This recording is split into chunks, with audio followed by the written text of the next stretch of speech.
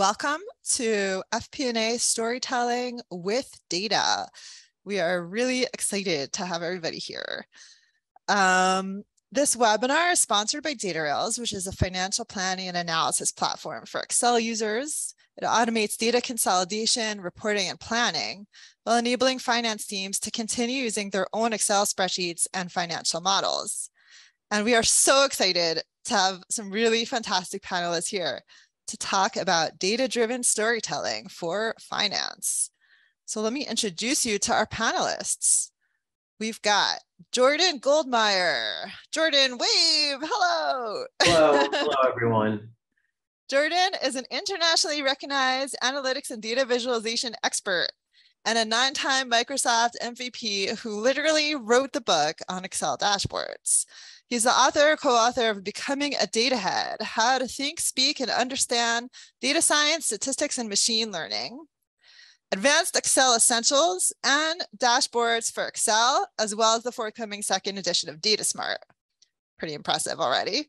He is also a consultant and speaker who once used Excel to save the Air Force $60 million.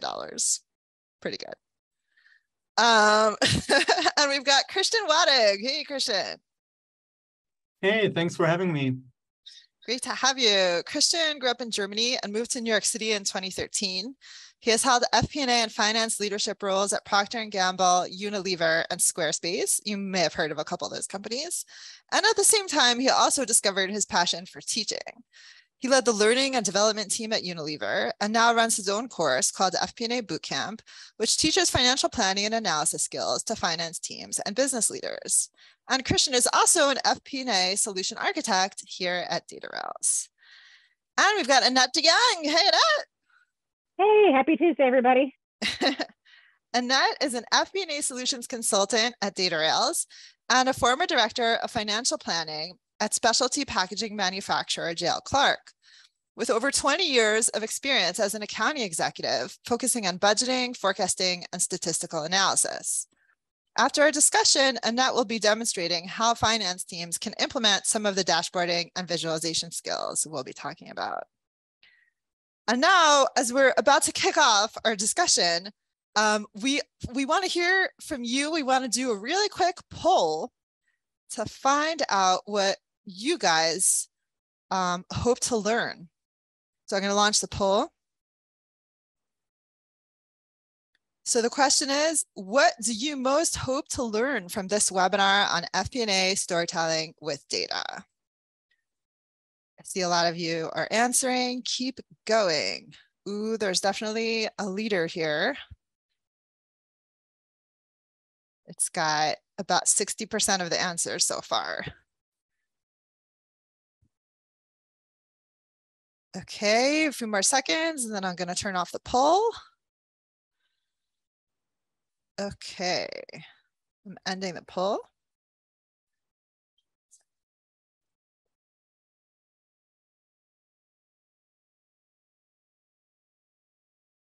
Um, and yes, how to improve data storytelling at my organization is definitely leading the pack here. I may not be the world's leading expert on data analysis, but I can tell you that. Um, and next up is how to get started on storytelling with data, why storytelling with data is important for FP&A, and what storytelling with data is. Well, I have good news for all of you, which is that we are going to be touching on all those things right now. And now for the first question for our panel. Okay, guys. I think everyone here has probably heard a lot about storytelling with data. But let's find out what how do you define storytelling with data and why do you think it is so important? Jordan, why don't you start? Sure. So, um, you know, the way I would look at it is anytime you apply a narrative to the data that you have, you are doing some sort of data storytelling. So we would all like, oh, the story speaks for itself, the data speaks for itself. And certainly when done well, I think that that is true. Anytime you do some sort of analysis or you have a result, though, you have to present it to someone. And the process of presenting it is actually data storytelling. But if there's not a game plan behind it, if people have not been trained in how to do this, they may not do it well and they think, oh, well, we don't do it well. So it's not surprising to me that many organizations would like to improve it for themselves or how to get better because I think on some level they already know that they're doing it every single day. Um, so that's that's how I would answer that. Okay, thanks. Annette, what about you? Yeah, so just really to add on to what Jordan said, I think with data storytelling, the one thing that I learned over my career was really um, know your audience. know your audience because what really makes sense to you, you know, finance and accounting, this makes perfect sense to me. Depending on who you're reporting out to, um, it could look like a completely, you know, foreign concept to somebody else. So in addition to telling that story and having that narrative and maybe having that balance, think about who your audience is while you're developing that as well. Yeah. So Jordan's saying, you know, we we're already telling these stories all the time. And Annette is warning us to keep the audience in mind because not everybody is um, gonna click with those numbers in the same way. What about you, Christian? Yeah, so I think that the goal of a financial presentation is to have a discussion about how to take action and drive the business forward, right? So if you're going through your presentation and at the end, everyone in the room just nods politely and they move on to the next topic, that's not what we want, right? In a way, is it does it mean it means that you failed. You want people to discuss uh, actions they plan to take away from your work, and that's why financial storytelling is so important. And the way I look at it, I divide it in three parts. What analysis, story, and then visualization, right? First step is the analysis. You need to make sure to separate signal from noise and turn raw data into insights. And we do that by giving context to the numbers and asking a number of why questions to really drill down into the data. And then the second step is turning it into a story because as you know, people have been telling stories to each other for thousands of years. Why? Well, because our brain really is wired to engage with stories and find stories interesting. And when people find something interesting, then they remember it and then they're more likely, you know, to put it into action. And then the third step of data storytelling is put it all, putting it all on digital paper, right? Creating the slides of your presentation and here you need to make sure to get the right visualizations that really tell the story and importantly, that don't distract. You know, you don't want to add additional information that isn't needed and less is more in this case. So uh, that's how you keep people engaged. And so in a nutshell, really storytelling with data for me comes down to having an analysis that gets you to the root cause as a starting point and then sharing the insights as a complete story that uses effective visuals. Thanks, Christian. So basically, we are kind of we're wired for stories. We're also kind of wired to think that nodding along is good. And what you're saying is it's okay, maybe, but it's not the be all and end all because nodding along isn't enough. We also need to actually take action based on on this data. Awesome. Okay, I'm going to launch another poll before we get to the second question.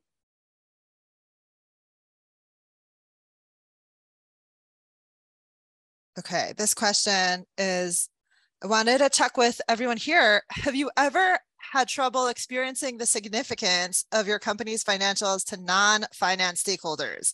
That kind of speaks to what Annette was saying about know your audience, right? Because if your audience is not from the finance world, then you might have some trouble. And if any of you have questions as we're uh, you know, talking here, feel free to put them in the Q&A. We'll, we'll be having a Q&A at the end of the webinar. Um, and we have somebody from our customer success team who can uh, provide some answers to the Q&A during the webinar. So feel free to ask your questions. Okay, keep answering. I'm going to close the poll in a few more seconds. Okay, I'm ending the poll. Okay, so we've got people are kind of clustered in the middle here. So some some of you have occasionally had trouble explaining the numbers or fairly often and a few of you all the time. And a few people i don't know if you're really telling the truth or not but there are a few people here who say rarely or never. Okay. Um, and now for the panel. So we talked a little bit just now about what data storytelling is. And now we really want to get into the meat of things and here's some real life examples from your personal experience. So, can you give us an example of a time where the value of storytelling really hit home? And this could be a time where maybe you only showed your spreadsheet and then realize this isn't enough. People are, you know, just nodding, but they're not really processing what I'm saying. Or a time when you actually did build a story around graphs or a dashboard and it, it really hit home and spoke to the audience more. Um, so uh, why don't we flip the order? Christian, why don't you start? Sure. I'm happy to share an example from my course, FP&A Bootcamp. It's um, it's a live course delivered via Zoom. There are four workshops, and the first workshop is dedicated to uh, financial storytelling.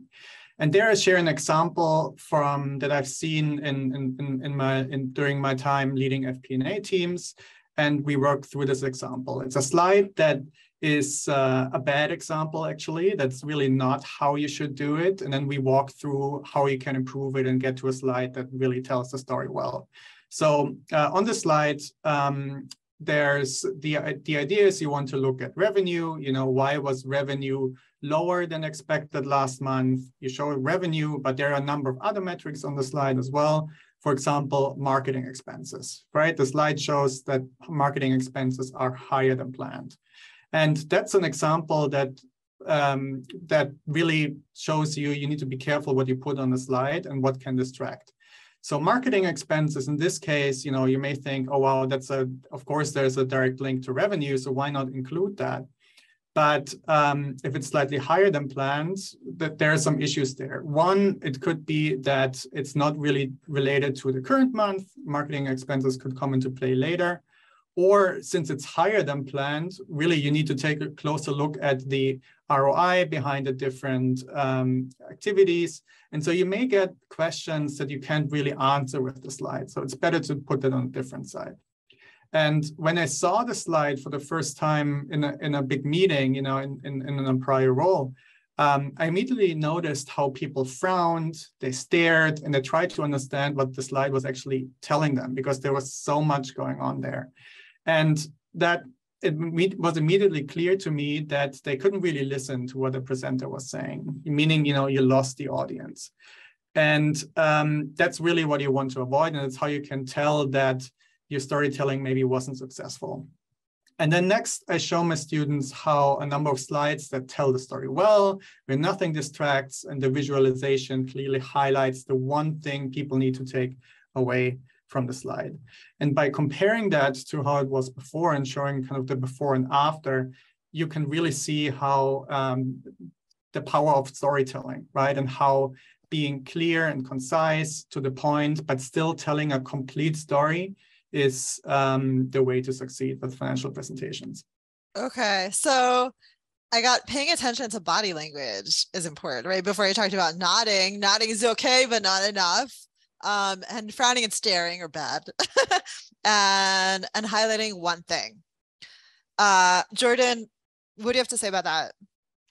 I mean, I think those are all great concepts. My story is um, slightly different. So um, I had a big client and I worked on this dashboard for them. And I can't really get too much into what it did, but like in Excel, it had kind of levers and stuff, and they would set this and that, and then it would come up with scores from zero to one for the different metrics that they wanted. So hypothetically, you know, from a theoretical standpoint, it made sense. But when people sat down to interpret what it did, because I would, you know, they'd say try this and that, then it would go to like, let's say you would see like something shoot up to a 0.8, and then they have a debate about, well, what does that really mean? Which I think, as Christian was saying, is like a good thing. But what I didn't have was a narrative. I didn't put guardrails on it. So everyone kind of interpreted it in their own way. And so it's kind of like at that point, you're reading it like tea leaves and you know you're not really like everyone can just sort of see their own fortune in it um, and i think that it really did need something more grounded and specific so while i had the technical aspects of it right i didn't have a story behind it they could fall back on that would frame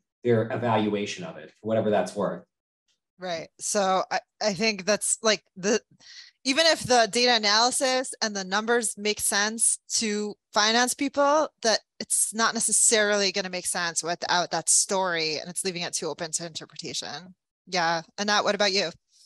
Yeah, and, and kind of the same thing. And this is where like I really focused later in my career on my audience. Um, earlier on in my career in finance and accounting, just trying to report out numbers, you know, this is how you're doing in your department, for instance. Um, you would get that glazed over look like, and I was a math major, by the way. So it's like I was trying to explain how to solve for a Euclidean algorithm or something, right? they had absolutely no idea what I was talking about. And, and I'm like, okay, I had to go back because really it was a spreadsheet, right? I mean, early on in the days, we didn't really have the visualizations. We didn't have the great tools that we have today. And so it was a spreadsheet, it was messy, everything kind of ran together. I understood it 120% because I created it. You know, so you get lost in the details. And I think sometimes a little too much because you know the story, you know the details behind the numbers, but your audience doesn't necessarily understand. So simpler, right? Make it a lot more simple visually, number one, right? And and two, I think as a Christian said, you know, that whole nodding. The other thing that is if nobody asks questions, they don't understand it. Especially when you're in a big room full of people, right? Everybody's looking at each other like, do you understand this? Yeah, I understand it. Do you understand it? Yeah, I understand it. Nobody's going to raise their hand and go, whoa, whoa, whoa, what exactly does this mean? Right? Having those one-on-ones and, and training, especially training for anything new that you're going to present to a group send it out early and say, you know, pick a couple of people and say, look, this is kind of, you know, what I'm going to present. Does this make sense to you? What doesn't make sense to you? And then you can kind of hone that craft to make sure that you are reporting out in a way that number one makes sense and people are going to be engaged, right? They're not going to be afraid to ask questions. A lot of times they don't when they really truly don't understand what you're presenting. Okay. So I'm getting from kind of all of you like pay attention to what your audience is is doing and how they're reacting right are they glazed over are they asking questions and to jordan's point what kind of questions are they asking are they just like asking the questions but kind of interpreting it however they want or are they kind of clicking into the story that you're presenting um, and interpreting it like the way that that makes sense to you as the person who kind of owns the data and knows what it means Okay, awesome. Um, I'm going to launch another poll. And while you're doing that, I yeah. see some questions have come in. Do you mind if I attempt to answer one of them? Or... Yeah, go for it, Jordan. So I so, sure. So I see um, uh, Jeremy. I'm also launching the poll at the same time. So if you can listen and respond, that would be perfect. yeah. So um, you know, I see he asked, uh, how do you do separate presentations for different audiences? My answer to that is usually I just do one big one. Usually there's like, I have like a big, small, like, um, I should say large, medium, and small. Small is the two slide one, medium is four or five slides. Large one could be as large as I want. And then, you know, usually I just build the big one first and then just cut cut things down to size for the different audiences. Yeah. I I I'm familiar with that because uh you know, sometimes like you just want to dump it all onto the page and it can actually take more work to, you know, shorten it, tighten it, figure out what to focus on. Sure. And, you know, just don't be afraid to get it wrong. You know, just if, if people nod, then just like go back and fix it. You know, just just keep improving it if you can. Yeah. Okay. Thanks, Jordan. Uh, I'm closing the poll in a few seconds, a few more seconds to answer.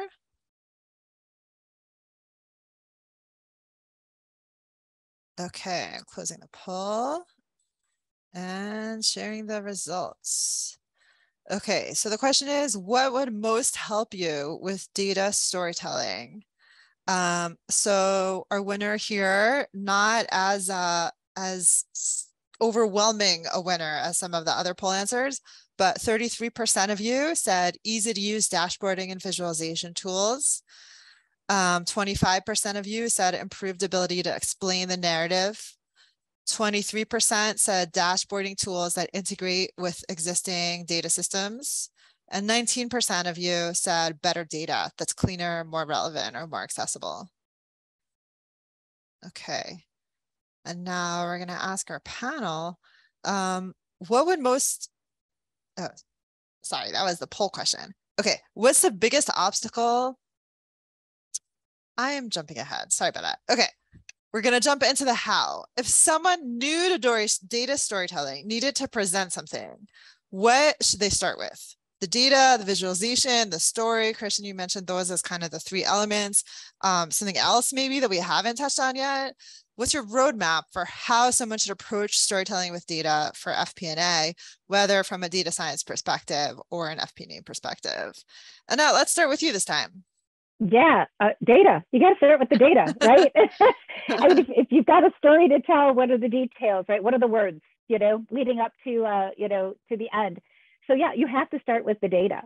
Once you can kind of formulate you know, and, and as accountants and finance professionals, again, like I said, we get lost in the weeds a lot, right? So we know the data. It's it's trying to pull out the story, I think, is where where most kind of stumble a little bit. And how do you explain that story? Speak like I always say, talk like a human, right? I, I don't talk to like you're talking to another finance professional. You really have to talk as though you're speaking to somebody who has never seen you know, a number in their life, right? So being able to really explain it on a level that, again, that's, and again, it's that whole audience, right?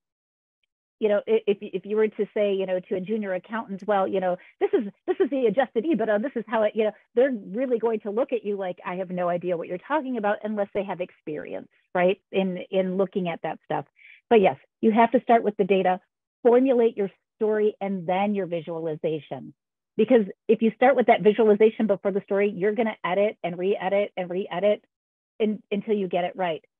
Get your story and then have that visualization follow what you really want to share. Okay, so if I can paraphrase that, it's data and then story and then visualization. Jordan, what do you say? Do you agree with that order?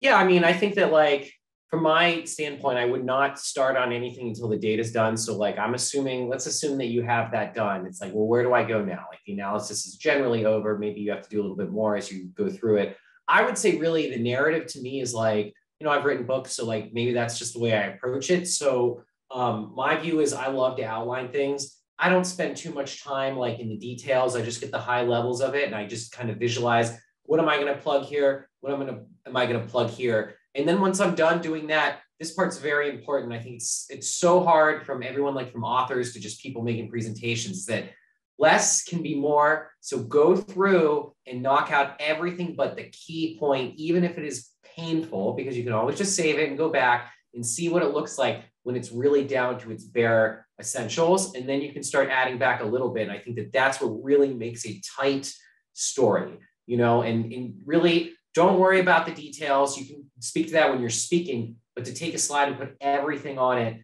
um, your job is to tell the story, not be so afraid of the story that you have to present everything, right? So you need to get out in front and tell the story. So that's the way I like to do it. And I, that's the advice I give to get over the analysis paralysis. Mm-hmm. Yeah, I come from a journalism background, and in journalism, we say kill your darlings. because there's always stuff there that you like want to keep because oh but that's you know such a cool phrase or such a cool anecdote but you can't keep it all I got to kill your darlings christian what about you yeah, so I, I agree with Jordan and Annette that you should start with the data, uh, but I would take um, even a step further back and really start to think about it like a scientist, right? Scientists, before they do anything, they have a hypothesis. So probably before you have to really dig into the data, you already have an idea. You've done some weekly tracking. You know where you know you know where the data is heading on a high level. So start with a hypothesis. So for example, let's say sales were 10% higher than expected in the last quarter. Your job is to figure out why. You may have seen your weekly tracking that coupon redemptions have been higher than usual recently. And so your hypothesis going into it is, could it be that higher discount rates are the main reason for higher sales? And then you dig into data. And the advantage of doing it this way is that you're be directed and you're less likely to, you know, as Jordan mentioned, run into analysis paralysis because you have a really clear goal. And then you keep working through your data until you hit a root cause. And that's where things often go a little bit uh, off. because um, higher revenues of product X, for example, is not a root cause, right? People need to dig deeper. And you also, by the way, need to have the right tools in place. So you can do that against a tight deadline and really go into, into the details with your ad hoc analysis.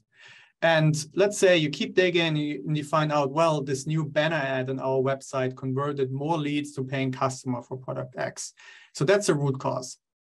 Because and and how do you know that you found the root cause? It's because it suggests a clear action right? If you say well revenues of product x are higher you can't really do much with it. There's a lot you could do to drive revenue further. But if you say well it's this one ad then you could the action could be well i just show this ad to more customers and that's also what enables you to do more than just sharing data in your story you're actually sharing um, what the next step should be and what action to take. And it all comes down to the analysis. And only once that is complete would I even touch PowerPoint. Because if you go there too early, you know, PowerPoint is patient, you just do a slide after the other. And then in the end, you think back, okay, why am I even saying this, right? What, what is the point I'm trying to tell? But by getting to the root cause first, from the hypothesis to a root cause, that's really how you can streamline the entire process. Thanks. Jordan and Nat, you want to just give like a quick response? Like, do you, what do you think about uh, looking for a hypothesis first? Does that help direct you or does it maybe bias you towards looking for a specific answer? What do you think? No, I mean, I think that like, uh, I think that that's spot on. I think I take it for granted. So, you know, I'm not like thinking that way, but um, it's definitely uh, a good point. You know, that's like, at the point at which you're about ready to present, you know, it's time to really start like honing in, like what is it that we actually wanted to say here and what were we testing? So I do, I love science, so I'm all, I'm all for that. I think that I just like, I'm like already thinking I'm doing that, so I'm like, okay, I'm doing it right. So, um, but you know, like I, I just like um, probably take it for granted that that's something that does need to happen and people do need to hear it. Okay, thanks. Annette, what about you? Yeah, no, I agree. I, I I took that for granted too. I'm like, I know there's a reason I'm looking at the data, right? That's, but yes, you're right. That is step one. Why, right? The why. Right. Yeah. I think thanks for pointing that out, Christian. It's sort of this like underlying premise that is almost kind of take for granted, but it's helpful to bring that up. So, so people are thinking about that. Um, okay. I'm going to launch one last poll. Okay. The question is, what is the biggest obstacle to FP&A storytelling with data in your organization?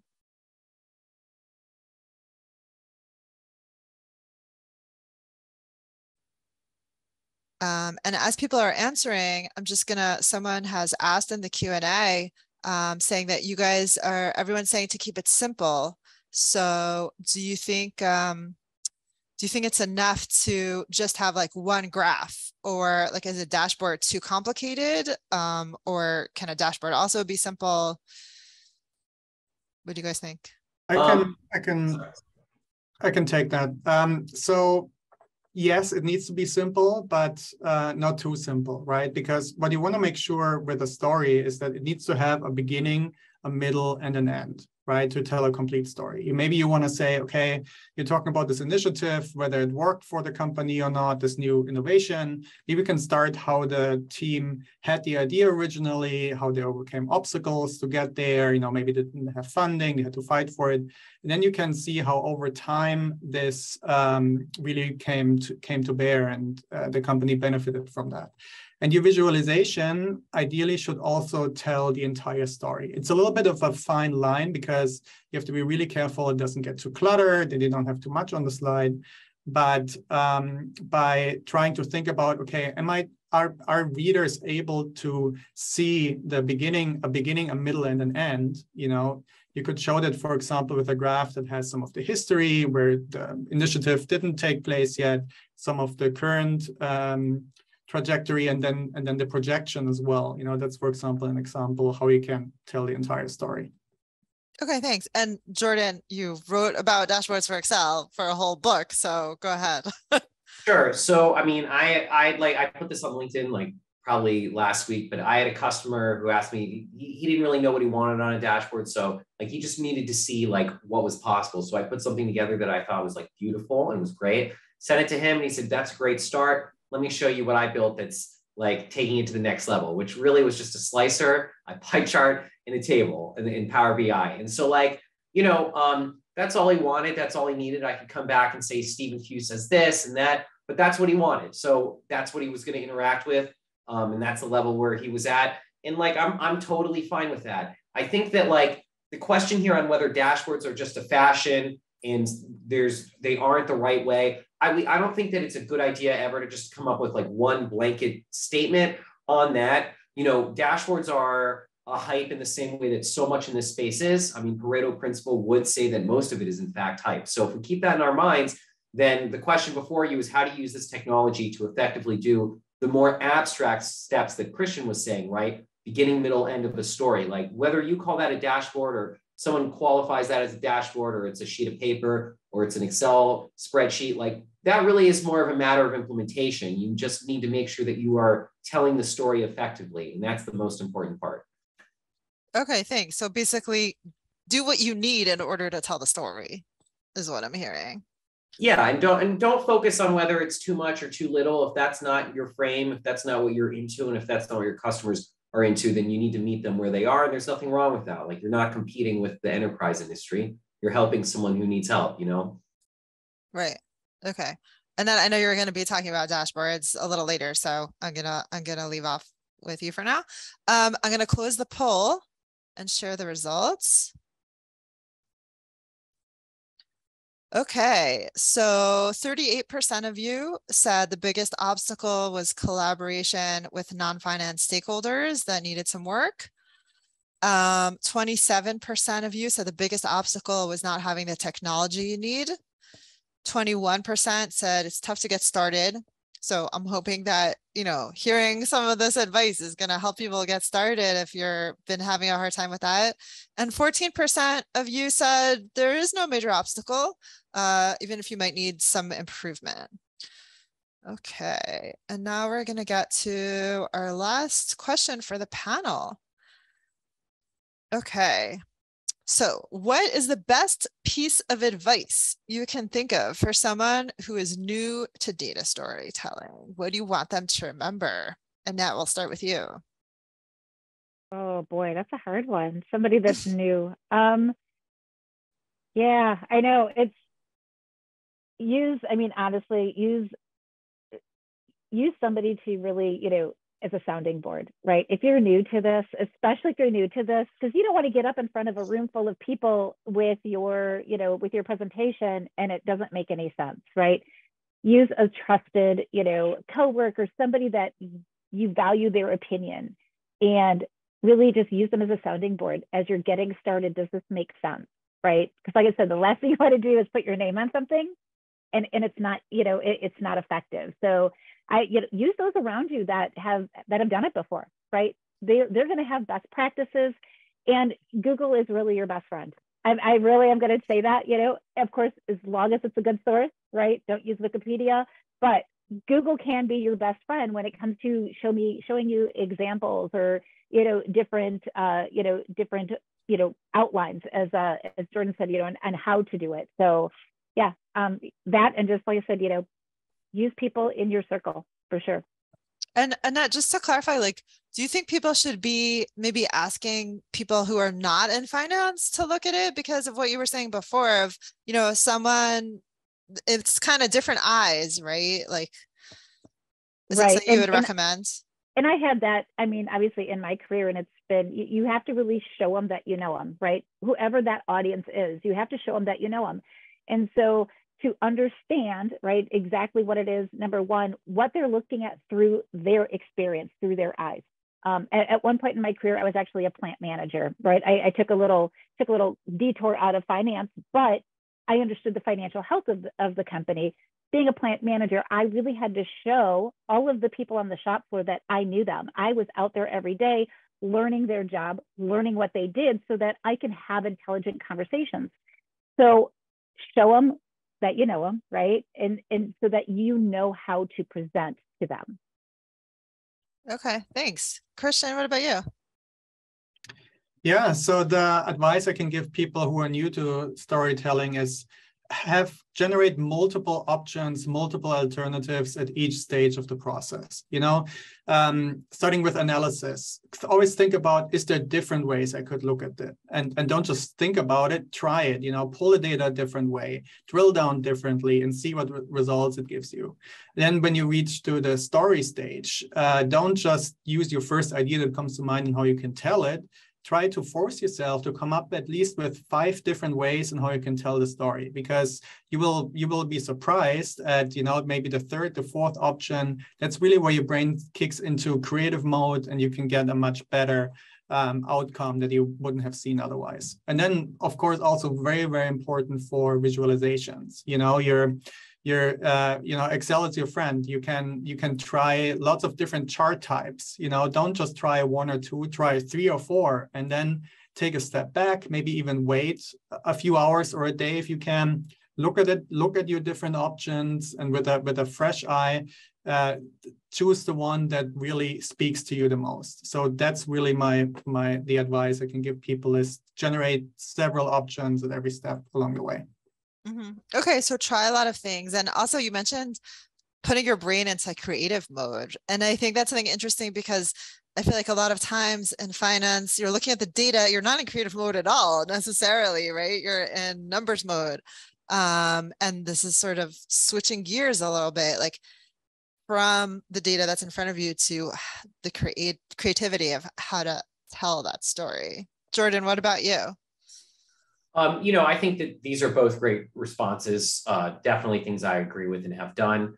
Obviously, I think that this is one of the major analysis paralysis aspects. People come to me after a presentation. Well, how do I make the perfect data visualization? And I say, you don't. You know, everything's a trade off. Just make several of them, uh, get feedback, take the feedback well. Um, just a few other things, though, and this is going to be a shameless plug uh, for my last book. If you're doing more data science stuff, like in becoming a data head, Alex and I practiced explaining stuff to each other for 10 years before we wrote the book. But we spent a lot of time with these tough concepts because we felt like people weren't explaining them well. So we really spent like these years, we'd call each other up. What do you think about this explanation? Um, and so we put them all in the book if you want to borrow them and use them, if you have to explain stuff for people. But fundamentally, I mean, we went through this for a while, really just like trying to test out is this a good way to explain it? And then I meet other people um, and I'd say, what do you think about this? Like in our explanation, and they have different, they would add on to it. And so you, we really let it evolve from the first few years. And that like allowed us to really hone in on like, what is it that people need and what is it that they want to hear? Um, and in particular, just one last thought on this.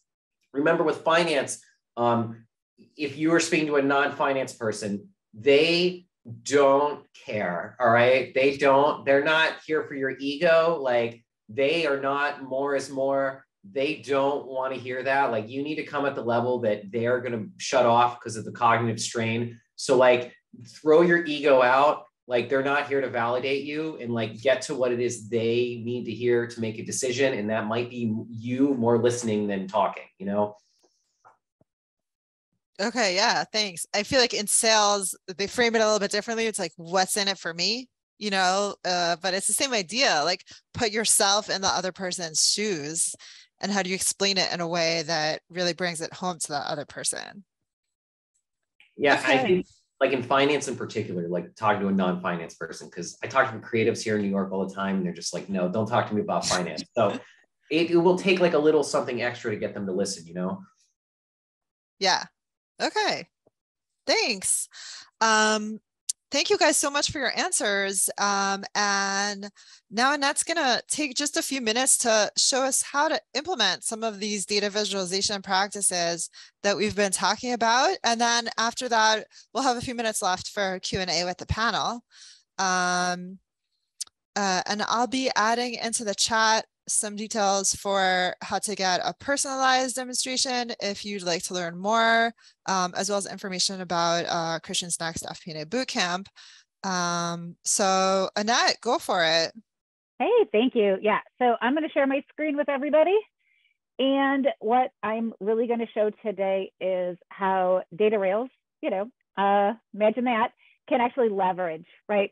Data visualization how we can really leverage um, you know those dashboards and so i think there was a i think i was reading a comment in here somewhere about you know how about like one chart or one report couldn't that tell a whole story um, and i'm going to say that depends what is the story you're trying to tell, right? If you just want to show monthly revenues, it maybe this is the only visualization you need, right? Because that's really all you're telling. But if you want to show the financials, for instance, right, we can show, right, your actual financial statement along with a lot of different visualizations. So this is a dashboard um, for financials. Obviously, we've got our P&L, we've got some revenue analysis, um, you know, EBITDA, we've got, you know, obviously some, um, some, some metrics in here, cash flow, OpEx, right? Yes, this is a very huge um, dashboard because we use this for our demo purposes. So we want to make sure that we show everybody everything um, that's really possible, right? But to your point, can this be its own dashboard? Working capital, absolutely. And this is what somebody's going to look at, right? So what does this show you? right? We're going to see all of, you know, our actuals, what are our current assets, you know, what's our working capital, our current ratio, and then we can graph that out to show trends over time, right? This is going to give you a lot more information than say, you know, if we're just going to show what it is this month or this week or this day, right? Being able to show trends because as we know, history usually, usually predicts the future. So being able to represent that um, and, and you'll be able to see, of course, where maybe there are some big hiccups in your data. And that's where that kind of gives you that narrow, it, you can narrow in to whatever those details are to really see what were the drivers. In Datarails, this stuff is super easy. You don't need to learn DAX, I know, Power BI. Um, and and I, and I know I, I used the camera feature in Excel for many, many, many years before I had dashboarding capability because you are so confined in Excel to row and column width and heights. And so using that camera, I could actually create all of these charts in separate tabs, bring it all into one summary. But with something like Datarails, a tool like Datarails, creating these charts are going to be incredibly easy um, again, you know, we can show budgets, actuals, we can show variance, and tools like this, we can even do variance analysis straight from a dashboard. So it's more than just a visualization of a point in time. It can be drillable, right? It doesn't have to be static. We can drill into our data. And just to give you an idea, ease of use, and again, I know that there are a lot of tools out there. Drag and drop, what you see is what you get, right? Any of the fields available in your data, you can drag it, create filters, et cetera You've got your visualization. It's all created. You're going to hit save. Everybody, you know, that has access to this, they're going to be able to drill into your data, change it around however they want. Now, this is a manufacturer, a financials. Um, so what about other types of metrics? Production, for instance, right? This isn't really coming from your general ledger, right? Maybe you want to show high level KPIs like yield or output. That for a, you know, an operations manager is going to make a lot more sense than showing the weekly financials or the monthly financials to them. This is really, again, that audience. This is what they want to see. They want to know what their daily yield is, or maybe their production, or where is, you know, the scrap dollars are being showed. So something as, as simple as this is really going to give some insights into like an operations manager. They're not going to, you know, want to see what they what we spent on legal fees or um, you know what our uh, you know our SG&A costs are. This is really what matters to them. Having a dashboard for a specific group of people. In addition, right, maybe HR. Of course, they're interested in headcount, salaries. You can have dashboards specific to departments, to even to managers, right? Knowing that audience, I think was probably like my number one takeaway in my entire career because you can show the same exact data in multiple different ways depending on who you're reporting out to. This is always my favorite, PowerPoint. Yeah, everybody's got PowerPoint, but can you do it in a live dashboard? We can. PowerPoint, publish that bad boy as a dashboard, right? Still have that capability of that live drill down capability, right? Right from within what quote unquote looks like PowerPoint because really you're going to be creating that in native PowerPoint, just publish it to a dashboard. Now anybody can use it. So just one of the one of the many magic tricks we have up our sleeve. That's my that's my dashboarding 101. Thanks so much. If you want to know more, you're gonna have to email me. Um, thanks for that, Annette. And I've put uh, in the chat if you want a more personalized demo, um, you can go to datarails.com and request a demo. Um, and we have time for a few more questions. Um, I actually saw one specifically to Jordan. Uh, someone wants to know, are you thinking of updating advanced Excel essentials and dashboards for Excel?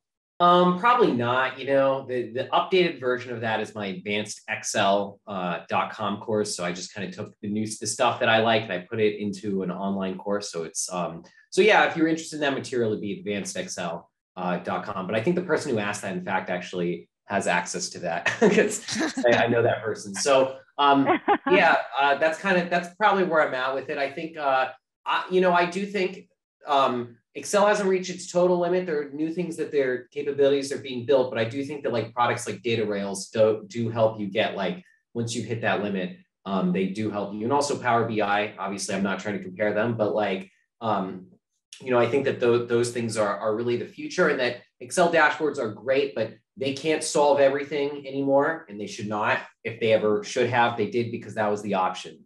So um, that's kind of my, my thinking on that. Yeah, thanks for that. Um, Okay, and Annette talked about using non-strictly finance data um, as part of kind of like the FP&A role of understanding everything that's happening in the business. Um, and I wanted to hear a bit from Christian and Jordan. What do you think? Like, what's the importance of kind of looking outside the revenues and sort of your your basic P and L and stuff like that? Yeah, I'm happy to take that. So I think it's very, very important that finance teams don't feel limited to data that has a dollar sign attached to it. You know, there was kind of the old view. Some companies are still a bit siloed where, you know, the finance team only gets the finance data and kind of the operational data sits with other teams.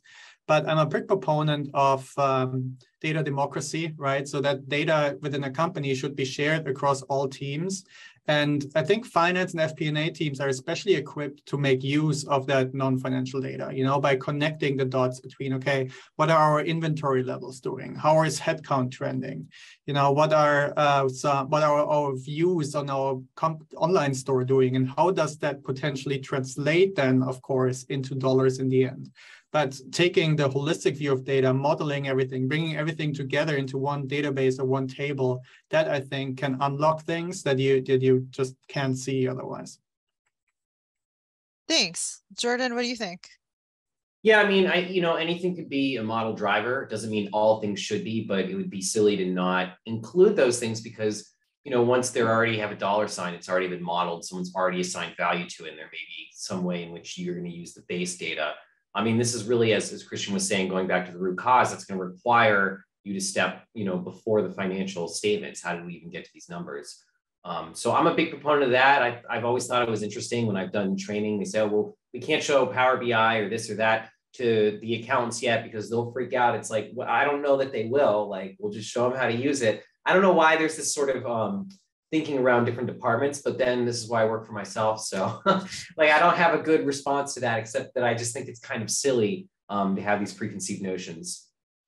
Okay. And I'm seeing people ask about different uh, dashboarding tools like uh, Excel versus, you know, Power BI or Datarails or you know tableau whatever like what why would you prefer kind of a dashboarding tool versus just doing it in excel jordan um, you know, the the uh, short answer to that is that it doesn't matter, or maybe that's the long answer. It really it doesn't matter. I mean, Excel you most likely have access to, and you can start practicing right away. Fundamentally, like Tableau and Power BI are very similar. You know, Datarails I wouldn't say is exactly like like that, but it solves a lot of the workflow problems. I would say that you really want to focus on what's your workflow. Like, am I putting this in a presentation? Can I just show someone an Excel sheet and let that dictate the technology that you would like to use, but also keep an open mind that you can operate between all of them. I mean, they're very similar. I don't know why we have to pick one, you know? Yeah. Uh, Christian, what about you? Yeah, for me, it all comes down to speed in the end, right? Because you want to minimize the time on non-value-adding activities like collecting your data, cleaning your data, preparing your data, you know, putting it into the spreadsheet. So you need to use the tool that allows you to ideally get that data preparation time down to zero. So you can go immediately into analysis and really go deep into how can you get insights from that and uncover risk and opportunities. That's where you want to spend your time on. And that i think should be your your guide to deciding what the right tool is uh, for you. Okay thanks. Annette yeah same. For sure. Yeah you know and I've used a lot of tools over over the years, and and I think I'm a lot like like Jordan really in that you know I'm very much self-taught in Excel. I can write VBA, I can write SQL, I can write you know because I had to get to the answer so quickly. I had to find new and easier ways to do that to get that data into Excel, right? So yes, you can absolutely still use Excel. There's nothing wrong with Excel. Millions of people use it every day. I mean I, I am actually on a, on a board of directors for a children's theater right just outside Chicago in Illinois here, and for a long time, all of our um, like like our advertising, all of the all of the design work I did, I did it in Excel because that's the tool I knew. I didn't know how to use you know any kind of photo editing, whatever. I used Excel for pretty much everything, right? So I'm probably one of those outliers that, uh, and I think I, I still kind of use it today for a little bit of everything. I hate Word, um, but to that point, right? It's still it's very usable. We use it every day. Use it until maybe it becomes unmanageable, and that's when you need to start looking at. I've kind of hit the limit on my Excel. Um, you know, and usually you know that when it continues to crash on you because your file sizes are so big and you can't. You, you, Jordan's laughing because he knows exactly what I'm talking about, right? They're so big now because what started out as maybe an ad hoc report grew and grew and grew. And now it's this huge albatross. And you don't even remember how you started it. You just know that you kept building onto it. Well, now it's not usable anymore. That's your clue that maybe you need another tool to kind of help you automate those processes. Yeah. Okay. Thanks for that. Um, you guys have been awesome. This is it has been great uh, you know, talking to you about using data to tell a story. Um, and I really want to thank everyone who has joined us. Um, thanks for coming. Anyone have any last words? Christian, Jordan, and Nat, any one last thing that you really want everyone to just remember? Uh, sure. I just think, you know, we live in interesting times right now. So like, if this is something you want to do, if you want to get into FP&A, if you want to increase your storytelling, all of that, you know, I know Christian has a, has a course, um, you know, I have courses and stuff, whatever. I'm not here to like pump anything up, but like, I guess what I want to say is this is a time to invest in yourself. And uh, I think that like, this is that this is what people should be doing. So if you've thought about it, you know, this is the time to make a move. And I wish everyone luck on their, you know, learning journeys. Awesome. Any other last words, Christian and Nat? I, I just gotta say I love Jordan's t-shirt. yes, actually someone in the Q&A commented on your t-shirt. Jordan Center. Love it. Love it. He excels. I love it. Yeah, right. Yeah, I just wanted to say thank you for everyone to staying with us and listening to us talking about data for an entire hour. You know, there's uh, something to that. So thanks so much for for being here. I think what it means yes, is, uh, Jordan, you've got a lot of data heads here. So. All right. Okay. Thank you. Bye. Thank you, everybody.